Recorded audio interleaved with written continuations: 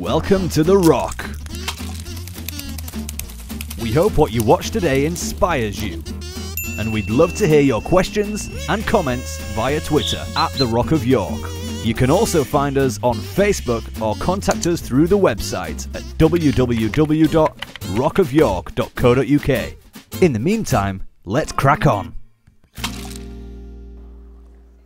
It's interesting that Chris mentioned the axe because I read online this morning, I don't know where I read it, but it said that um, someone had said that if they had eight hours to drop, um, eight hours to chop down a giant tree, that they would spend the six, first six sharpening the axe.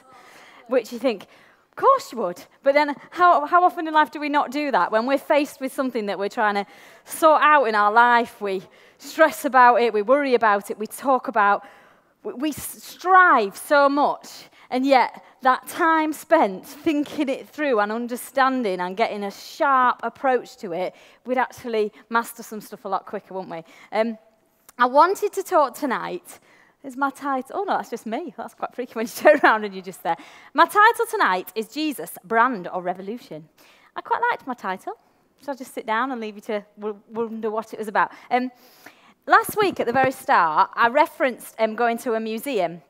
When I met my sister in Amsterdam, we went to the Rijks Museum. It was fascinating. And um, I, have been thinking about it and not been able to let go of this, this understanding that I've gleaned from the world of art. And I just want to share it with you. I am not an expert. Yet again, I find myself up here talking about something I don't know a lot about. But I think that probably means that, like me, some of you may not understand. Is anyone massively, is Claire listening or is she in creche? Anyone else massively into art? Right. If I get anything wrong, I'm really sorry. Um, but I do think there's some real insight to be gained from considering some things today. Now, I'm just going to start by showing you a few um, images, a, a, number of which I saw in this museum, others from other places. Okay. So I'm going to start by showing you this is Rembrandt's night watch, if you click the slide for me. Now, you can't see it very clearly, but when we saw this in the museum, I mean, it was huge. And the precision and the detail that was explained was absolutely incredible. And at one point, it had been damaged and they had to mend it. And I mean, it took him, I mean, it was just amazing. Now, this was another one we saw, which was Van Gogh's self portrait. Now, you can see the style of art has changed here. Instead of it looking almost like an exact replica, there's something else going on. Look at the next one. This is a different style again, isn't it? So they're all in the gallery, but they're all quite different expressions. Now look at the last one, and this is where I begin to have problems. I, I get that it's in the gallery, but that to me is not the same quality of art as some of the others. Okay? Now let's go on to the next one. This is also a work of art. I get, just, just see, this is all art, but can you tell how our reactions to some of these expressions? I mean, you might, you might prefer that one. I mean, to be honest, I'd probably rather have that on the wall in Daniel's room, not mine. But it, it's not the same, is it? Right, next one. Now, this is, right, this, oh, this makes me laugh. Um, this, one of the things we saw in this gallery, I know it sounds terrible, but I just couldn't take it seriously. We went round this corner, and there was all the Rembrandt bit, and there was all the sculptures, and then we went to the sort of really modern bit, and I had to read the blurb on everything because I didn't understand what was going on.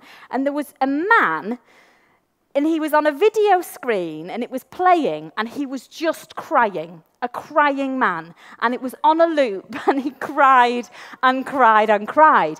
And it was actually supposed to represent the suffering of Christ. And there was a long explanation about it. Um, but it was a man just on a video crying. And having seen the other things I'd seen in this gallery, I just found myself stood there thinking, I get that this is art and it belongs here, but it's very different to what I've just been part of somewhere else. Now, look at this one, a couple more to go. This one was when I went to, um, it was on South Bank. I went to London to meet my cousin, and um, we went to, we took the kids to a museum on South Bank. And it was this interactive museum where you had um, every piece of art, you had to make a choice about what you were going to do. The funniest one was there were two beds, like hospital beds on wheels, that moved like a millimetre at a time. And one of the things you could choose to do was sleep overnight in the museum. You had to go on a waiting list and lie in the bed all night in the dark, and then in the morning see where you ended up and how far you travelled.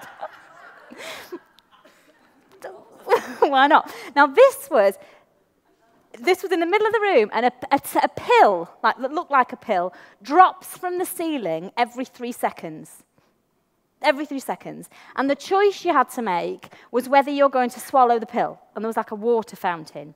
And you don't know what's in the pill, and only the artist knew. So it was the difference between who was brave enough to swallow the pill not knowing what was in it and who wasn't. Now, you can imagine all of our kids wanted to take this pill, and we were going, no, don't eat them, don't eat them. Um, so that's a different form of art. Now, this next piece here is the one I want to pause for a second. Has anybody ever come across this genuine work of art? Seriously, does anyone know what it is? It's you, Claire. Claire, look, the, art, the artists have heard of it. Now, this is called Fountain. It is a urinal. This is called Fountain, and it's one of Duchamp's, Duchamp's, whatever, Duchamp's most famous work and is widely known as an icon of 20th century art. It really is. Much debate in the work that foreshadowed this. Um, there was much debate in the work that, that I'm reading that as if I've, that's my notes. Now, this is what it says on the caption. It's actually, the, the work of art was lost. And so now it's like a picture of the urinal called Fountain. Now, Fountain is the most famous of his so called ready made structures, ordinary manufactured objects designated by the artist as works of art. It epitomizes the assault on convention and accepted notions of art for which he became known. The original was now lost. The urinal photograph is really quite a wonder. Everyone who has, I'm going to laugh. Everyone who has seen it thinks it's beautiful. it's so funny. And it's true. This is the funniest bit. It has an oriental look about it. Across, this is, I've got the giggles. I'm going to cry. Oh, sorry, I've got the giggles a cross between a Buddha and a veiled woman. Now, put up the next slide. it's a cross between those two, apparently. Okay? Now, you can actually see that.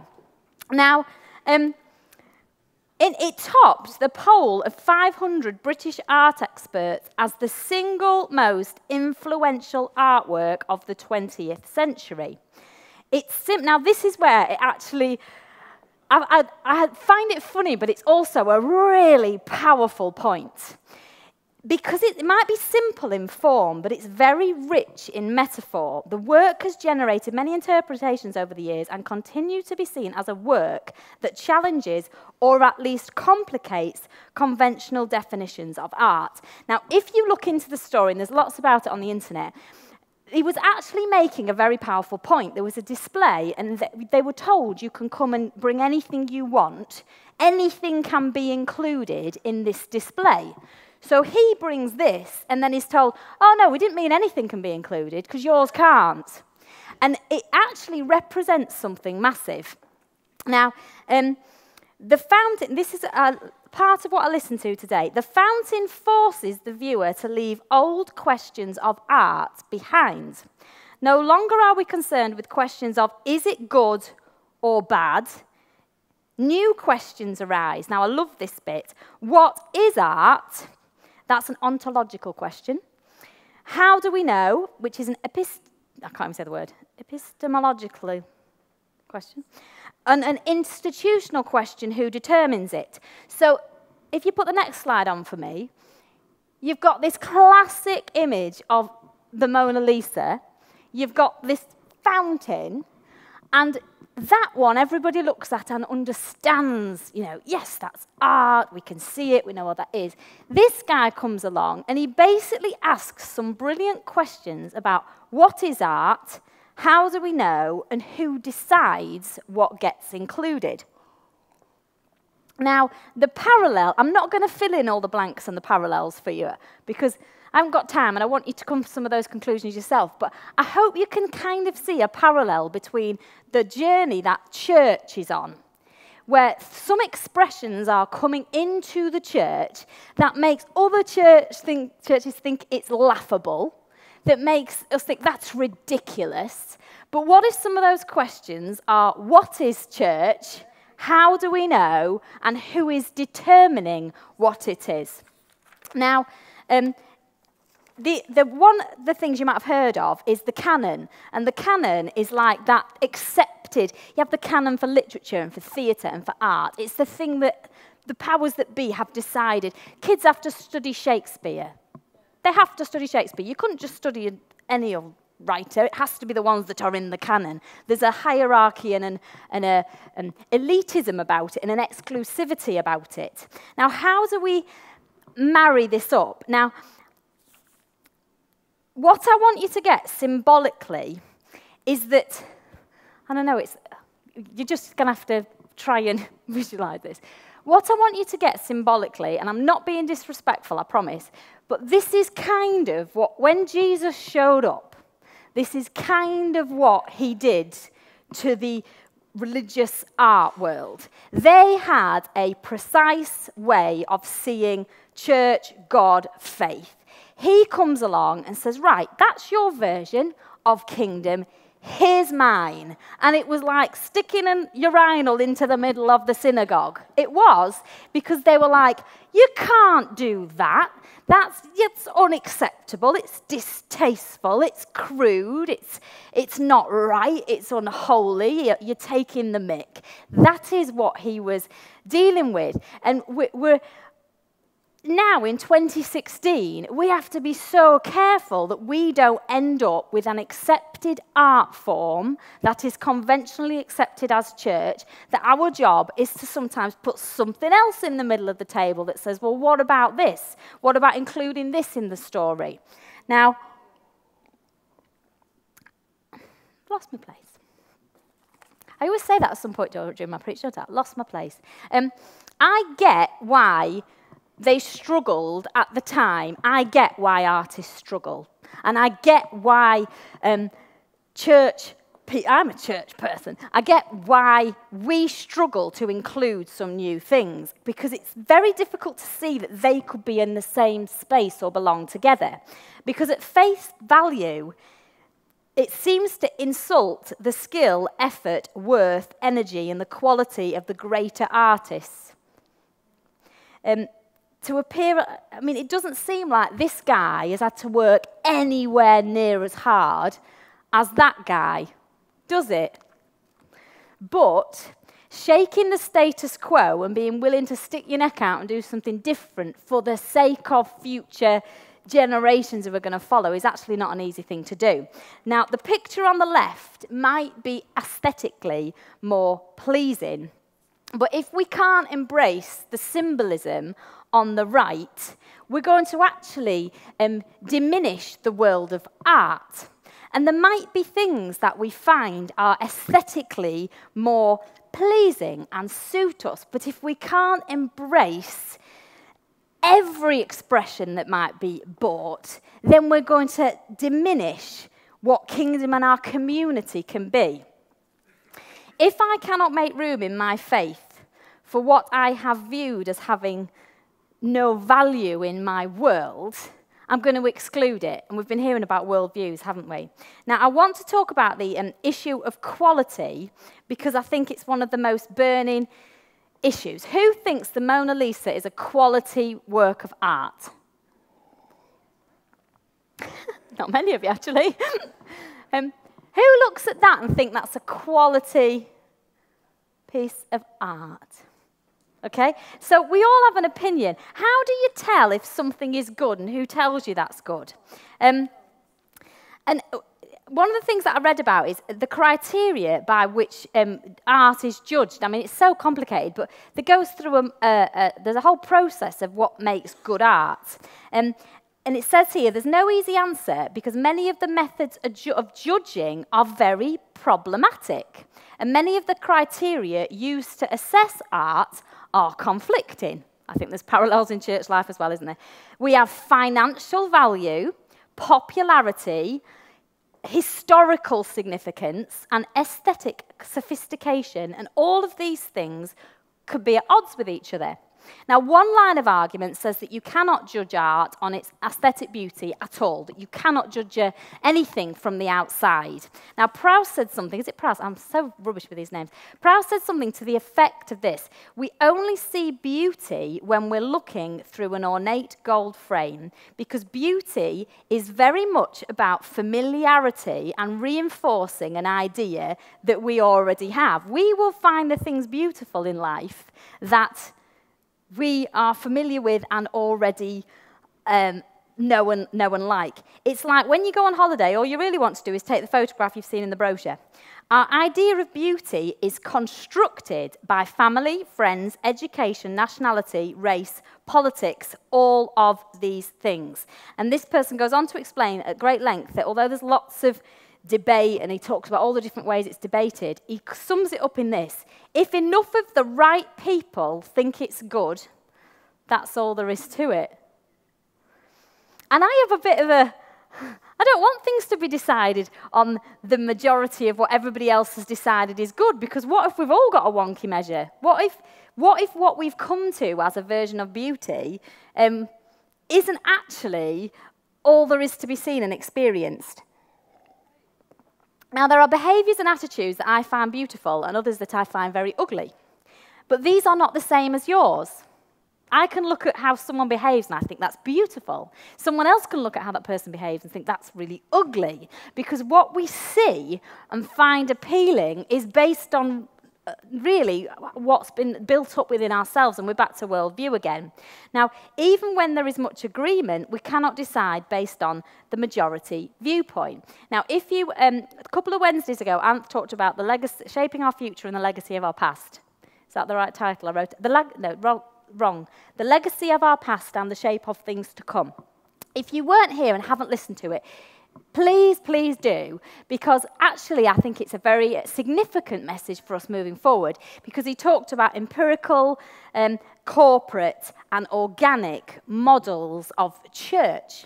And it's so important that you listen to the wisdom behind that and the examples of that because it was very powerful. Um, and in a corporate brand, culture, in a corporate world, and a number of us work in a corporate world, you have to keep people, um, you have to keep people happy.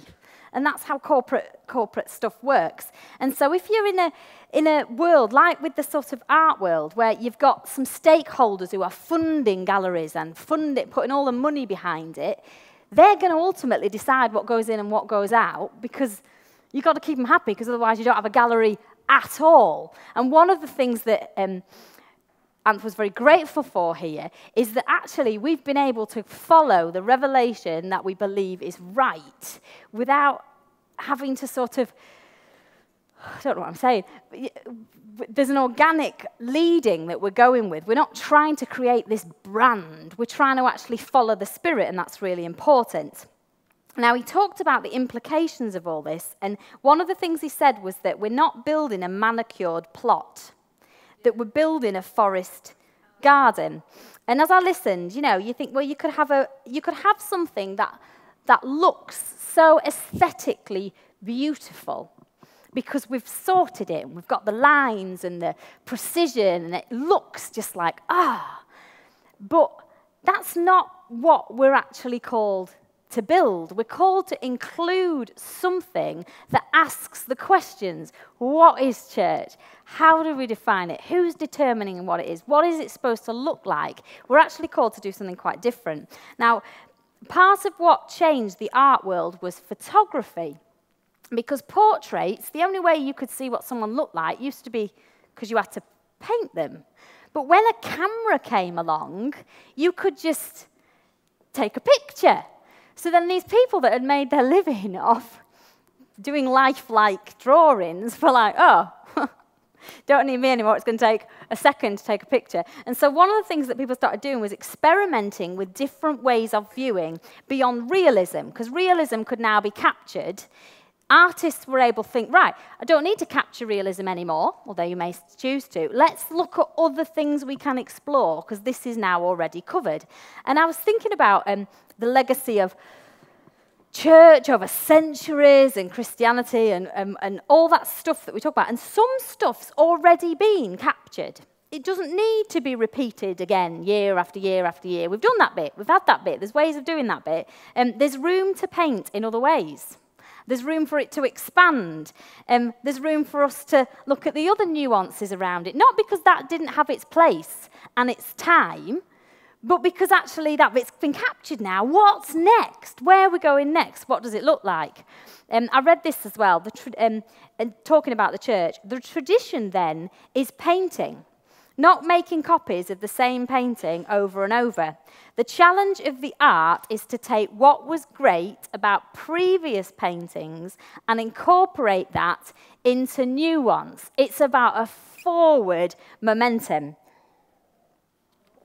Now, the tradition then, for me, is revolution. So we're not about a brand of always being in a certain way of it's going to look like this. It's going to always look like this. If anything tries to not look like this, we're going to shut it down and we're going to keep it looking like this because this is our brand of faith and life. It's actually about a revolution.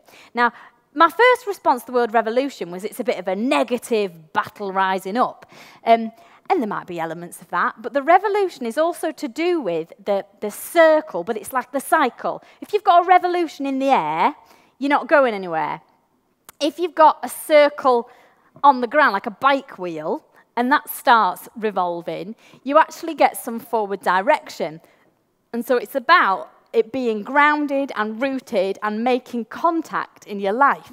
So actually, there's, a, there's an opportunity to, for us to get grounded in some stuff and connect with some stuff that's going to move us forward in brilliant, brilliant ways. Now, what if the, my construct is based on um, a, a brand of what things are worth that was passed down to me, not out of a sense of revelation. What if we only think that that's better than that? Well, we do. We only think that's better than that because something in our life has told us that that's better than that. Something was handed down to us. If that had been introduced first and someone did that, you might think the other way round, actually. And we only can't comprehend that because it wasn't introduced to us in that order. And so much of what has been introduced to us is, becomes our fixed point because it came first. But what if the first thing that we encountered is not actually the full encounter? Are we just going to stay there or are we going to embrace something new? Now, what determines the worth in your life? Is it that your life looks pleasing or feels pleasing? Is the worth just about that external stuff, or is there another worth going on deep down? Now, Adam and Eve in the garden were asked a great question. They were asked, Who told you that you were naked? I love that, who told you. We are told things all the time, and sometimes we just believe what we have been told and has been passed down to us. And who, who told us, who told us it was true. Um,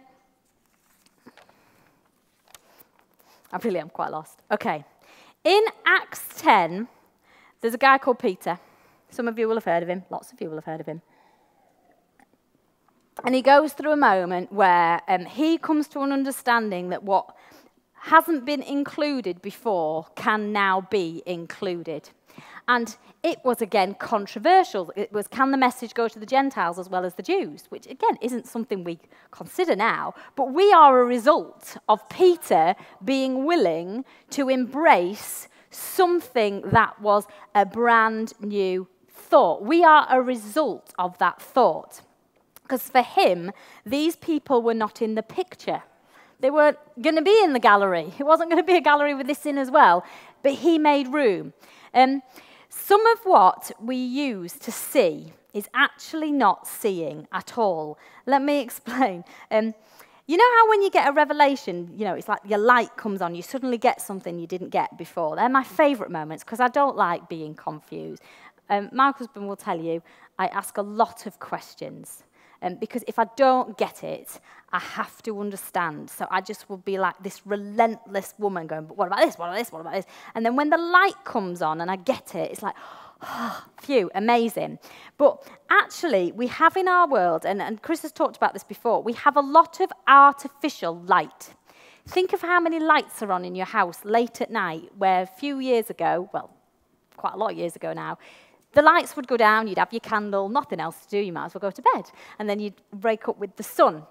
We have so much artificial light. We have our tablets and we have our phones and we have our lights and our night lights. And I mean, when you look, when I go and stay with my sister, and she lives in the Pyrenees Mountains in France, the sky is just incredible.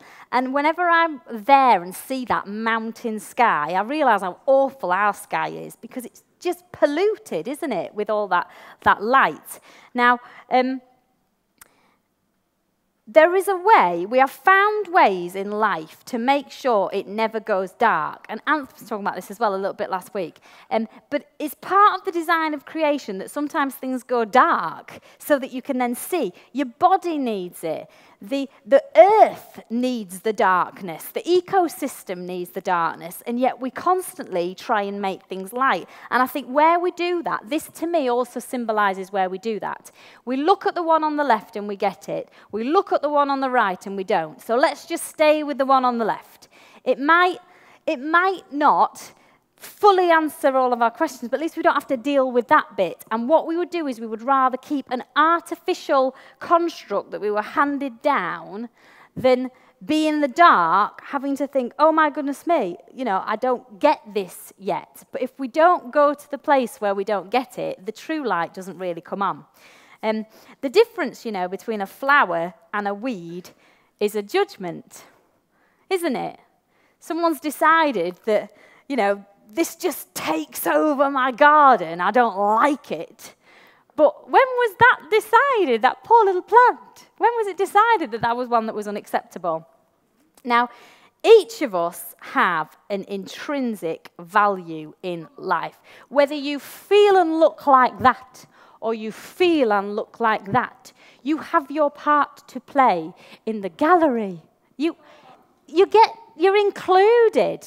You are included. And both, to me, have a phenomenal value. Phenomenal. Because there's something to be said for that. And there's a heck of a lot to be said for someone willing to ask those questions.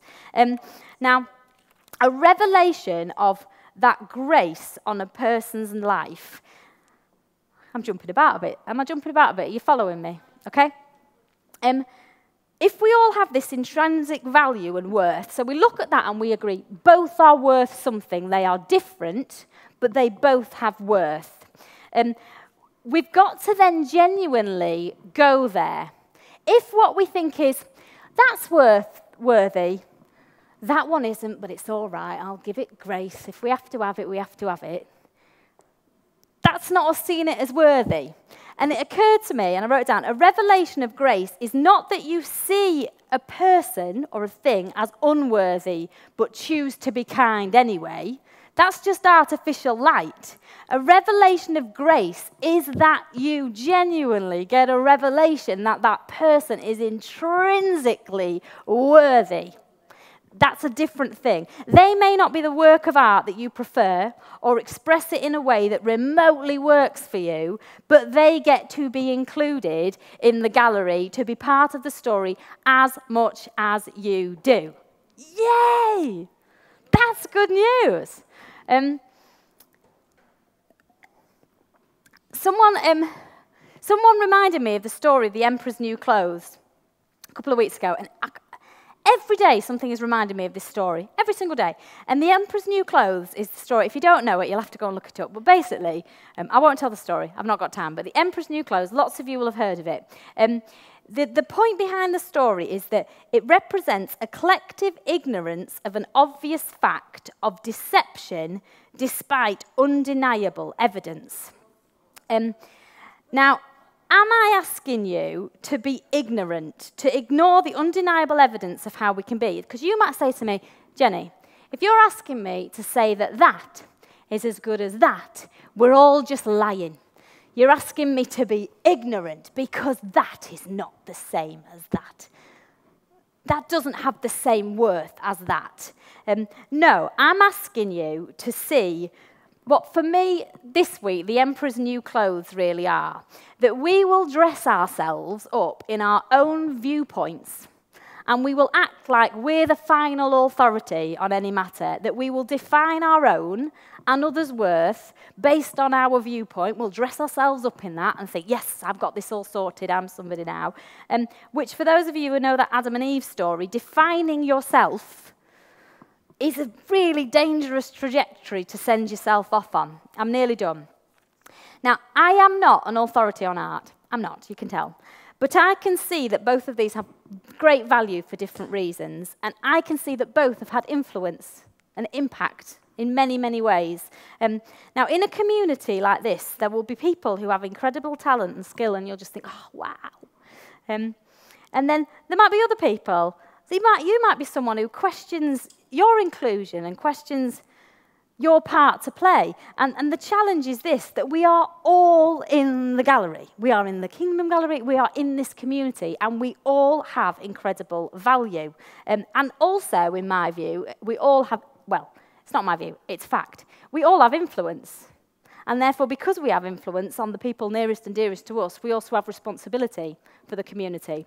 Um, and so, my challenge to you tonight is that we've got to make room for more than we've ever made room for before, individually and as a community. We have to make room for some moments like this, where something is brought to the table that's a question that questions the very essence of what we're doing and who we are. And we have to be willing to have those, have those questions and not be afraid.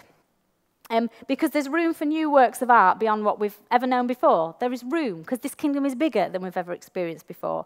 And for some of you, there's a real need um, for you to accept a worthiness on your life.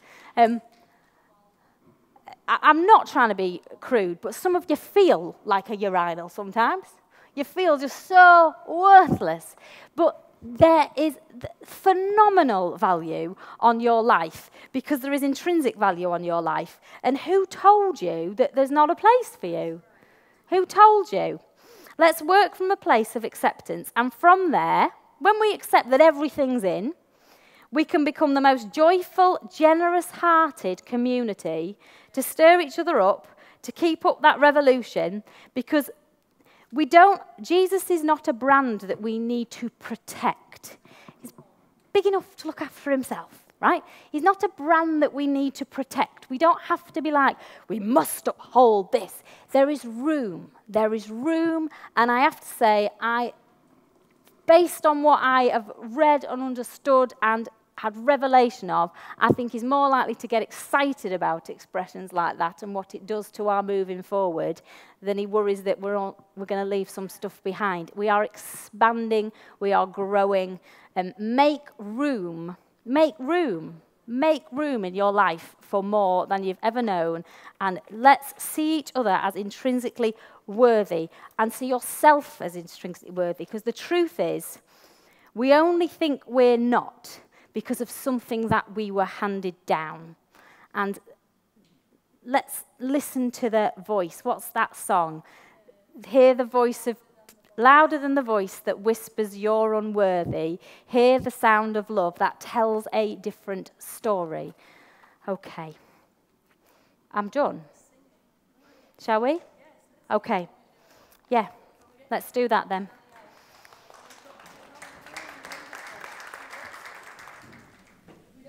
the song uh, You Can Come As You Are on the set tonight, but we were running out of time, so we decided to miss it out, so it was, was there. But it is true, louder than the voice that whispers you're unworthy. Hear the voice of love, hear the sound of love that tells a different story. Why won't we listen? Just, it, it beats me. We always want to define ourselves rather than letting the one who loves us more than anything, define us and tell us our worth. And it would be just wonderful if for one minute we'd stop trying to figure it out. Remember, if you're going to define your worth, you've got to take the, the good, the bad, you've got, to, you've got to be able to weigh it all up. It's, it's actually very hard work. Think about it. But if we actually allow ourselves to be defined by the goodness and the, the righteousness and the awesome, just wonderfulness of someone else, and we just have to accept it. How easy can that be? And yet somehow we don't want it, do we? We want to we want to do it ourselves. So I thank Jenny. Thank you for that. Um, I think we'll put the toilet on a picture somewhere, the urinal on a picture. Got to have it somewhere now, haven't we? That, you know, next to the Mona Lisa. So anyway, let's just sing from louder than the voice. Can we just do that verse uh, to, to the end? Is that okay? Louder than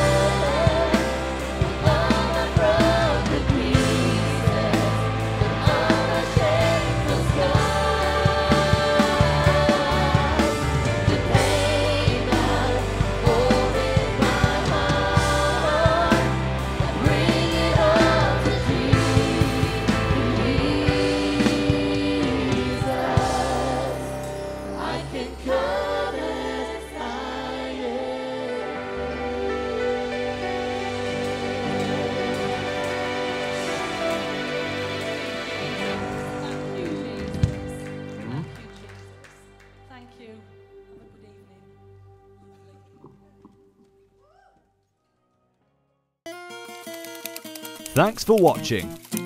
You can find out more about all The Rock is doing locally and internationally at www.rockofyork.co.uk. And why not support The Rock from wherever you are? Just hit the donate button now to help us help others.